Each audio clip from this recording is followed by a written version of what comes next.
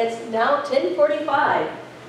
So I'm going to go ahead and get us started. Welcome to the Stopwatch Session 3, Faculty Re- and Researcher Services. I'm Athena Hoeppner, and my role here is going to be playing an obnoxious sound at the end of 6 minutes and 40 seconds.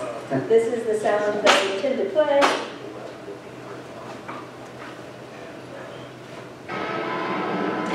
I don't know if y'all can hear that. Uh, I hope so.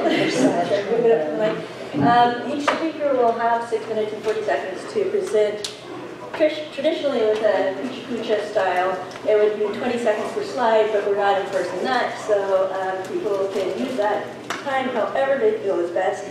And with that said, we're going to go ahead and get started with Adventures in Streamlining Research Data Services with, uh, I'm terrible at names, so Brianna Dosch. Yeah. And then after each session, we'll have one or two questions while we switch between speakers.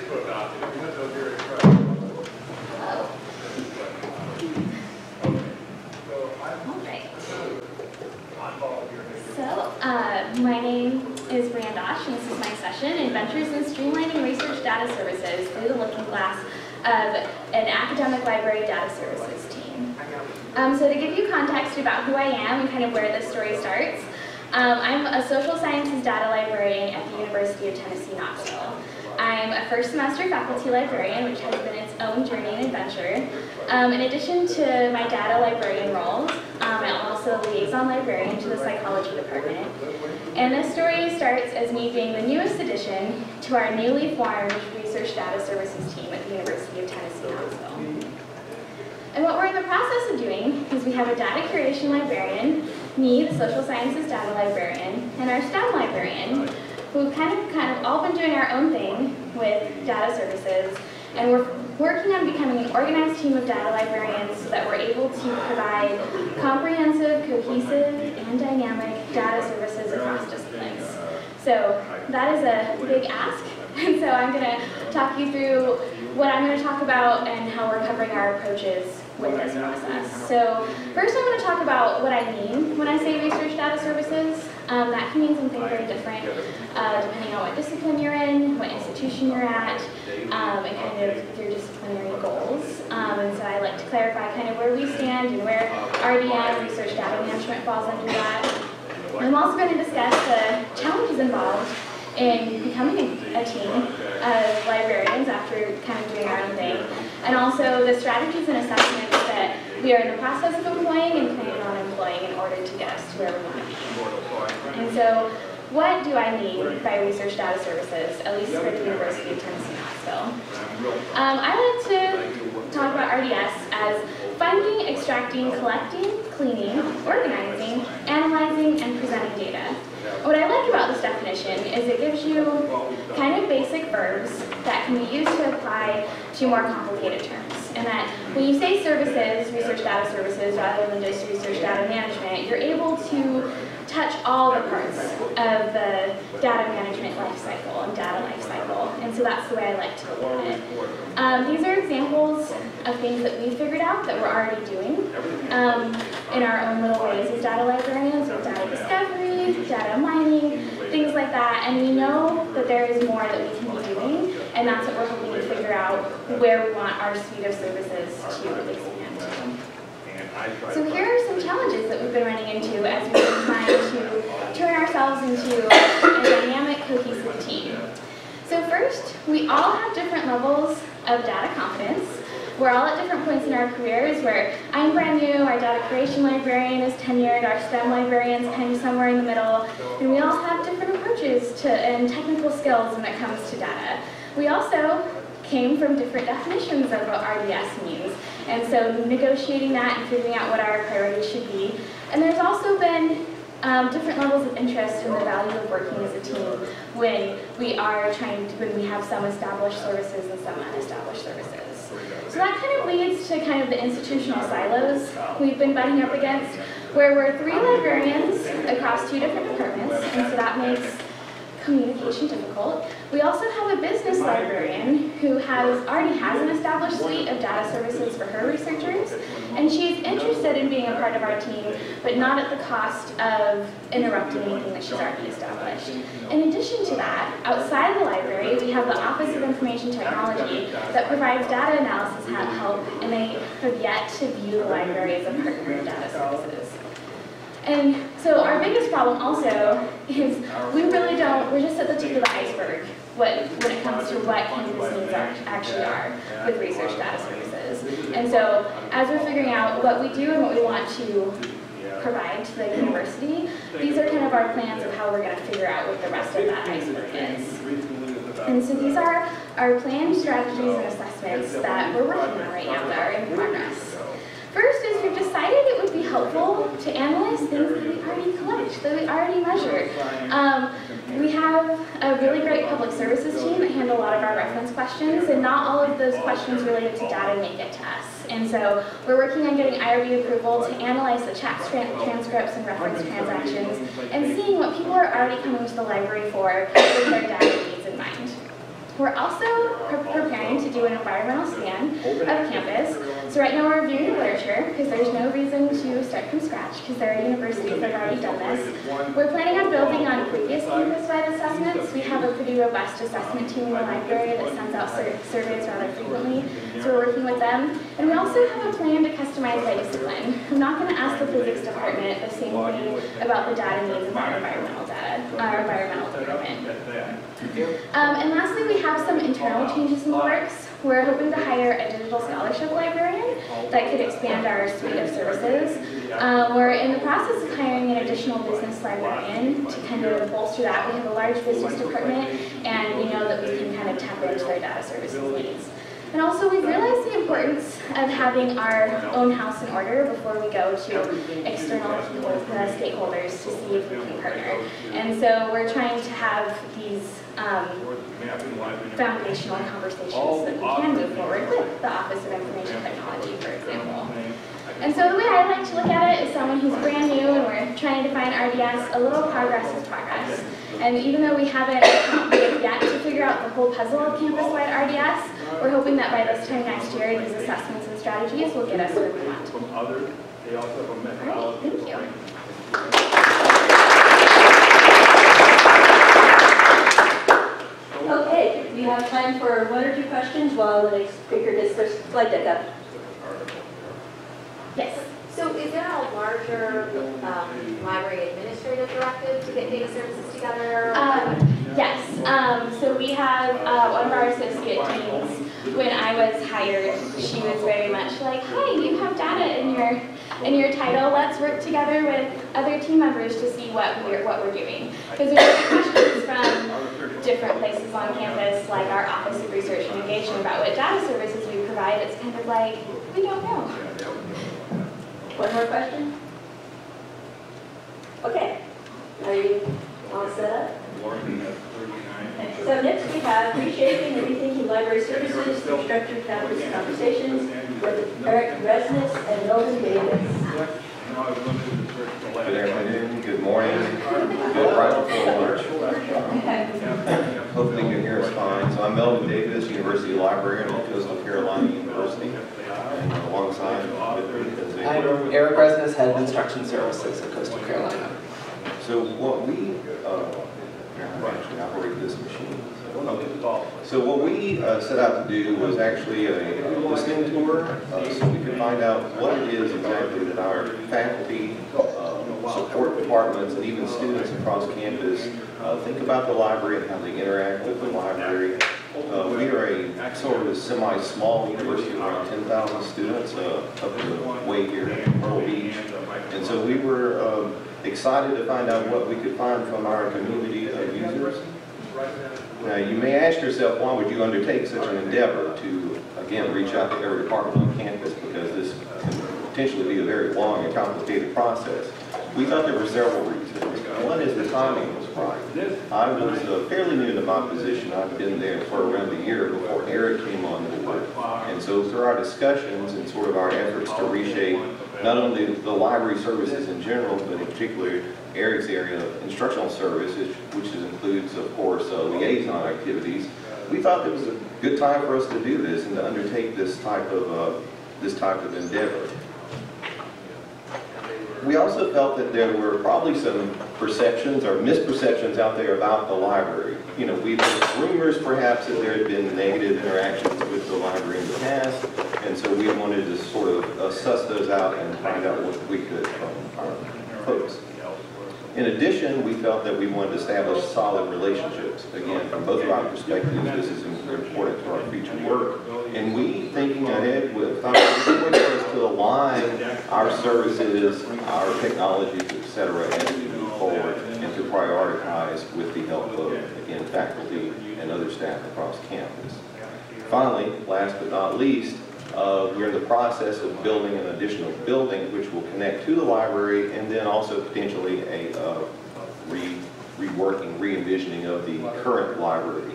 Uh, Interestingly enough, when we decided to undertake this, uh, this was not really something that was 100% on board. We thought we might have like one room in this new building, but as things have progressed, we now have a whole floor, and then again, we're going to be able to hopefully redo the rest of the library.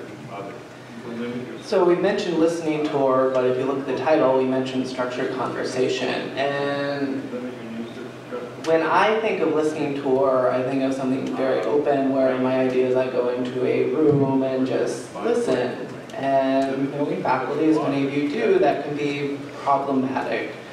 And because we didn't want this to become, I mean, for lack of a better word, a bitch fest about things that go wrong, university things. So we, what we did was we combined a um, semi-structured interview process. So we're still listening, but we went to the table with a set of questions where it went to our goals. And we gave faculty leeway, and also partners as well, to give us different information, which we did use to um, change questions for some of the populations as well.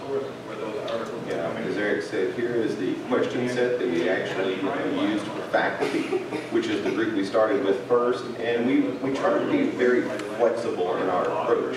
Uh, so what we would do is contact, say if it was a department, we would contact the department chair and say, here's what we want to do, uh, how can we work with you to make this happen? And sometimes we would find that we would meet solely with the department chair. At other times, we would meet with the entire department. So it really kind of varied. So we had to be flexible, especially in our time. So I think we asked initially for around 45 minutes. Uh, so we thought that was sufficient time to get these questions in. And then we found that some departments were like, well, maybe we have 15 seconds, or 15 seconds, 15 minutes that we can fit you into a department meeting. And then some department meetings lasted for over an hour, and some were solely engaged on what we were, we brought to the table. We should say that uh, one of the things we learned through the process is these questions, we had to have the ability to reframe them uh, if we were, for example, working with uh, other departments. So results, we're still in the middle of the project, but we have talked enough entities that we have a decent data set at this point.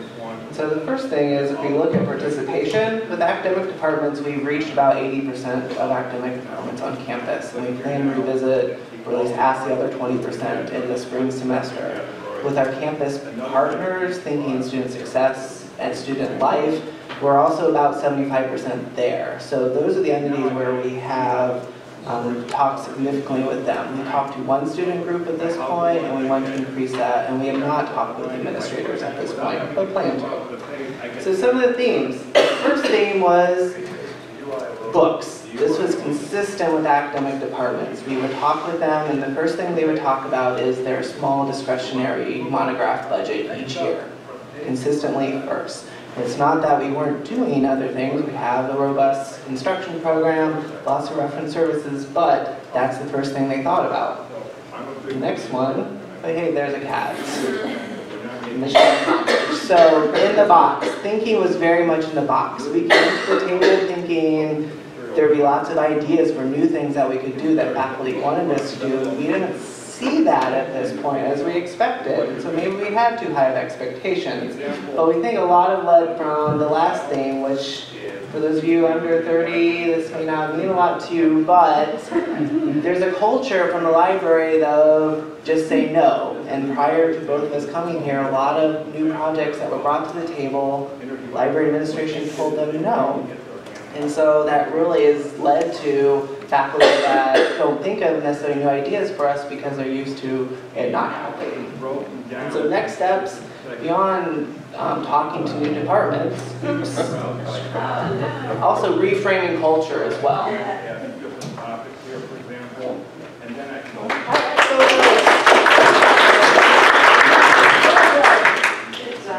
So, any questions for our speakers while we switch slide decks? Build the link to find articles. Did you change your, your questions over time based on how effective, Directly to the video. you know, feedback was? We did not change the nature of that, of that set of six. We, we might have reframed the questions a bit, so they were still asking the same themes, but depending on the population that we were focusing on, we may have reframed it a bit or asked only certain aspects of the question, knowing that for this population, we expected for them to talk about that more. Generally, that we be as true to that set as we could throughout the process.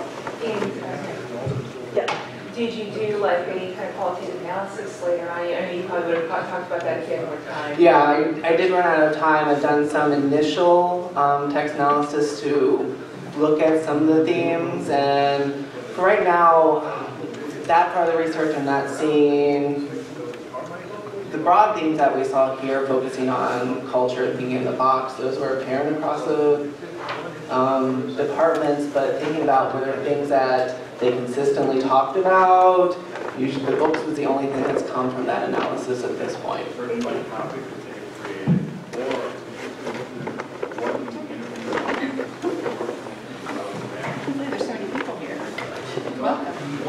All right, so next we have managing faculty expectations with Debbi Deacon. Trying to make better use of the video. All right. And it was a really impressive. So my project is incredibly similar to what Melvin and Eric were talking about. I'm just gonna let this run, and that's not me. Stop! One second, I'll restart the timer. I'm sorry. That's not me. I mean, it's a great thing.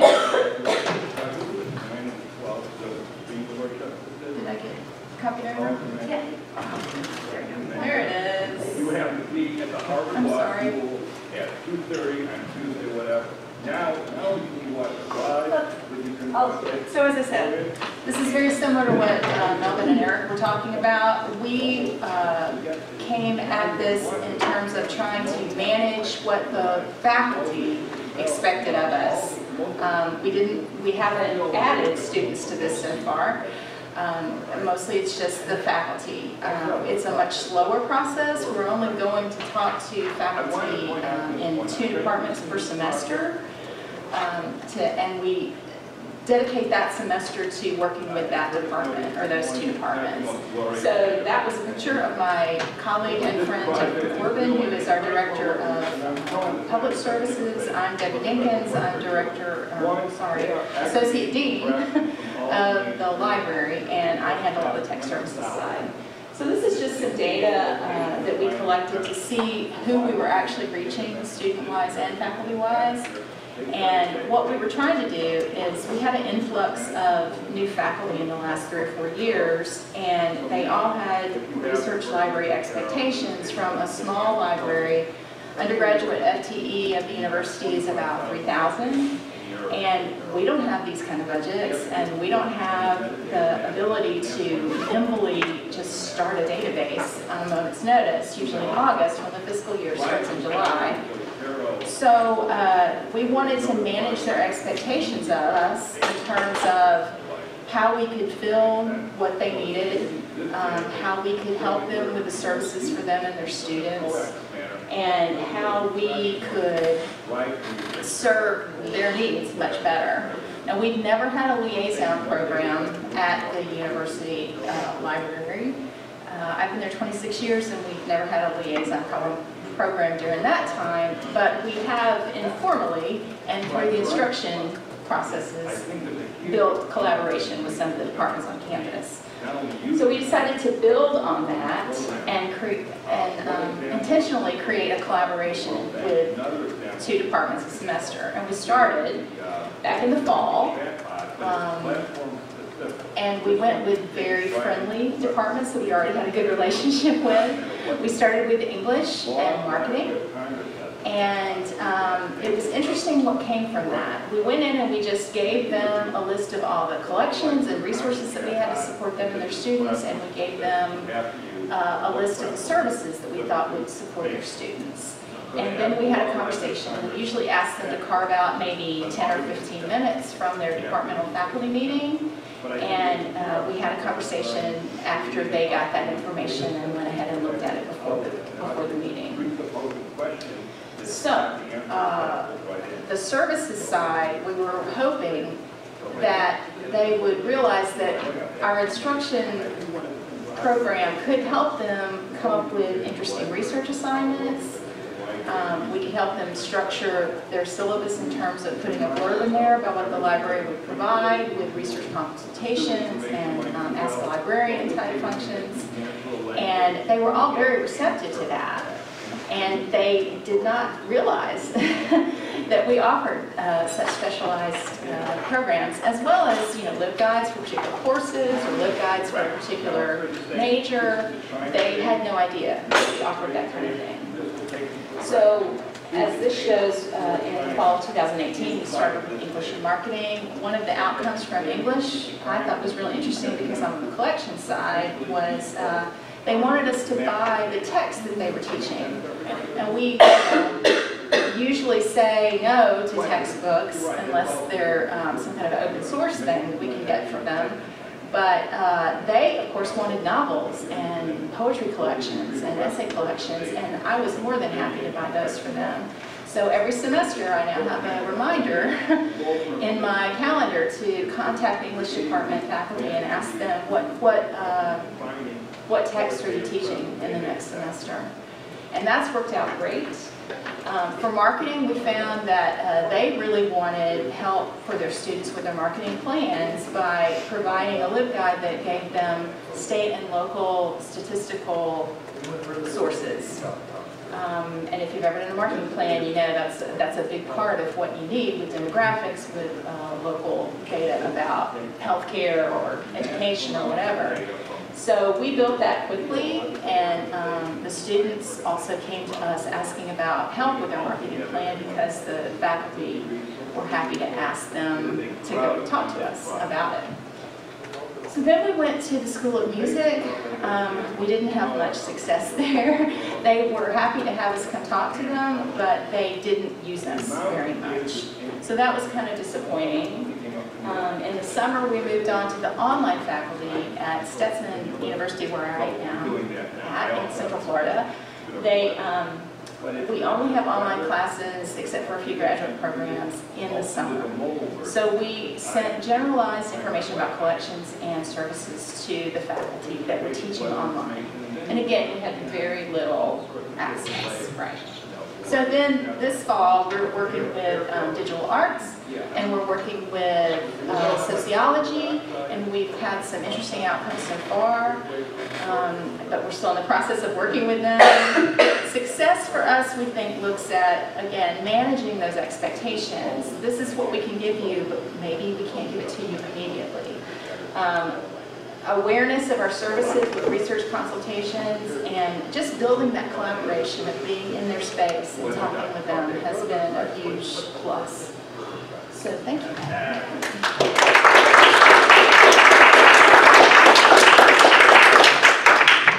Okay, wonderful. Do you have any questions for us? Please go ahead. No ad. Debbi, I know you have a small staff, but based upon your work so far, have you considered not having officially assigned liaisons to departments? Uh, we have looked at that over the years that I've been there, back and forth. Um, we've got eight librarians, Yep. and I don't know how many departments, um, quite a few. But the level of expertise of our librarians when it comes to collections, I would say, is, is varied. Some of them are very specialized, some of them are very general. And we all, because we're small, wear two or three different hats, you know, I'm associate dean, I'm assistant librarian, I'm running tech services. So uh, adding the liaison part, other than informally, uh, hasn't been viable for us. But we're hoping that the librarians, when they see the success of this project, will want to be part of it. So it might grow organically. Six million syllabi aggregated. Any additional questions? Database from all over the world. All right. And moving on, next we have collection and research services for the independent scholar, surveying the landscape and filling the gaps by Melissa Gasparotto. Hi. everything. Um, All right, can you hear me? Okay. So, um, so I was really interested in this particular group of researchers because there is a pretty significant gap in service to those who have no uh, academic or institutional affiliation. And the New York Public Library is fairly well positioned to support them um, as they move in and out of academia, for example, and really act as that constant service provider as they, um, they uh, move in and out of institutional affiliation periodically, for example. Um, so the group in, of independent researchers includes everyone from the recently graduated to working um, outside of academia, for example, research analysts, to journalists who rely heavily on current historical resources, um, to public historians, and so on. It's a fairly large group of people who don't get served by academic libraries. Um, and since NYPL is a large combined branch and research institution, um, we serve all information served uh, needs for all comers. So I set out to understand how we currently tackle that kind of service and then how we can build upon it. What I quickly realized is that you absolutely have to start with staff capacity building and housekeeping, just like any new initiative.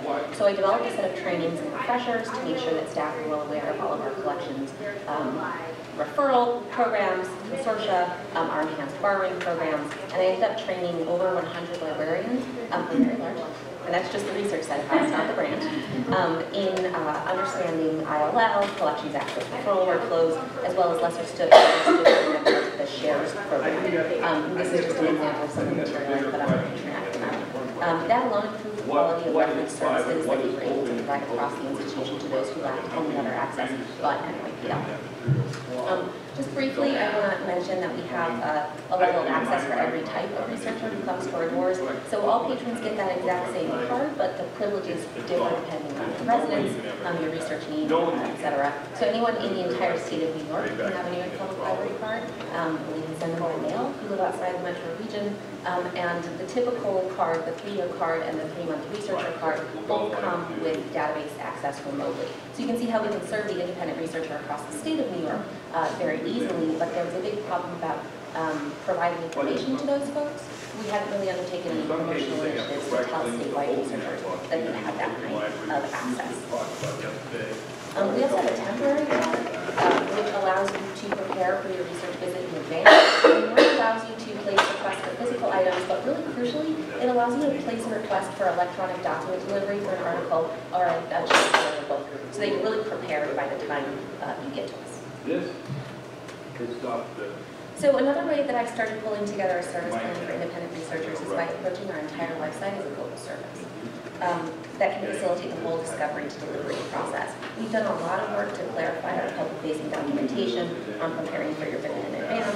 Um, we've also tweaked a lot of staff-facing workflows to handle permissions and reproductions requests more efficiently um, for researchers who are local. Um, we, oh, we um, strategically work with vendors to um, digitize collections that might be a low digitization priority for us. Um, and then we get those files back, and after an embargo, we can then make them Our open use access. CRS report, these are, this is a premier That slide. research organization. So like all research libraries, we're part of a number of collections and access consortia. One of these is uh, monitoring. Um, This provides a route for independent researchers to get access to and borrowing privileges from our local uh, Columbia and NYU. Um, NYPL, we used to approve researchers by an online application form, but I really felt it didn't provide us with the opportunity to engage with their projects and meet them um, and make sure that they knew about our collections and how they could before sending them off to our consortium partners. So this year, we started providing access to this borrowing program uh, during a consultation in person at the library. So we've really begun to understand the independent user a little more um, deeply, and I'm hoping that next year, once we have a going about the consultation process for this year, we'll understand, uh, we'll have more insights on how to further develop our services for this particular population. Um, Our core services to researchers also include application-based study room uh, admission, we just opened a whole new center for research in the humanities in the the flagship building, Lion. Um, They just got a spa day, and they got cleaned by visitors.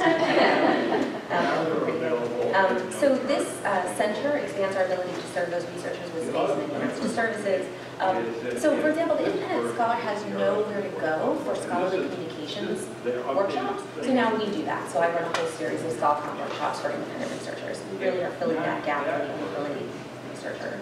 Um, Another way that we serve unaffiliated researchers is by supporting open source and open access. Um, That's not necessarily the rationale for entering into that space, but it certainly does impact them positively. We have this tab, if you've not um, seen it, um, it's called Simply E. We developed this to provide access to um, consolidated, single experience across a lot of our e uh, packages all libraries can adopt this. It comes preloaded with OA content, and you can integrate your own uh, licensed resources. I think there are hooks for certain types of packages, it doesn't include all of them, but definitely look into it. Um, We support that. And then, their archive person. And then future initiatives, some of these are very, very beginning, further along. Um, We are, uh, we have a new research division called the Digital Research Division. Uh, That's a central unit, for uh, thinking through a variety of possible initiatives, including understanding what we need to develop a virtual reading room to serve our collections, um, what would it look like to offer remote fellowships, to deliver our services uh, to those at a distance. We have a new Center for Research and Learning that's going to be under construction starting next year. We're thinking about offering distance education opportunities, of working with institutions across the distance to co-teach special collections that can't necessarily be moved. Implement Aon in the next year or so. Um, And then we're working with the Library of Congress to understand what our combined circulation data might say about future um, digitization needs on a national scale. So um, you can see that we're working everywhere. Um, Not all of these things are designed specifically with the independent researcher in mind, but the position of NYPL itself as a standard research institution really does lend itself to seeing our services in that light. Um, I think we still got a way to go to make sure we're comprehensively supporting those who don't have a current academic affiliation. But I think it's probably pretty clear that the way forward is definitely to leverage our consortial and the digital environment.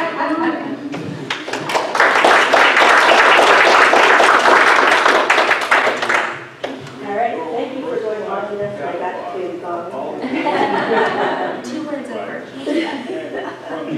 All right, thank you. Any questions for our speaker? think, uh, So this show is on. I want to get one of those cards, can I get a fake dress? Yeah. That was my thinking too. Get a New York card. I like that sort of complementary, like, like digital research services, like a digital branch of concept for this purpose. I'm curious as to what softwares are you looking at in relation to the virtual reading room? Very beginning conversations. The Digital Research Division was formed two weeks ago. Um, And certainly, we're going to seek grant funding, planning grants for a lot of these things, because these are, uh, we want to set up a to be dedicated by other institutions. We don't do things in an individual, like when we get a grant, it's to then build something out for the whole profession. So, um, so this, we would need a planning grant first for that, but we're starting to think, what would that look like? Yeah. Are you aware of other states that are doing this? Because I'm in Massachusetts, but I'm going to retire in New York because I'm from Buffalo. So I know then I will have that card. But do you know of other states that are possibly doing this? No, and New York Public is kind of strange in that we are a research and branch, and that our funding comes from the city and the state, and so we have this larger mission to serve the whole state. So, um, and also part of the reason that we can do this is that we have, uh, like fifty percent of our databases are only available on site, so that really helps our budget. Um, If we had all five hundred databases available off-site, we would never be able to, to scale services like this, right? So it's, yeah, it's a mixed bag. Thank you. So we have about five minutes. I think we should open the floor to questions for any of the presenters. I'll let it be in enough time. I'll save, let's save outlay. Or you have five extra minutes to go where you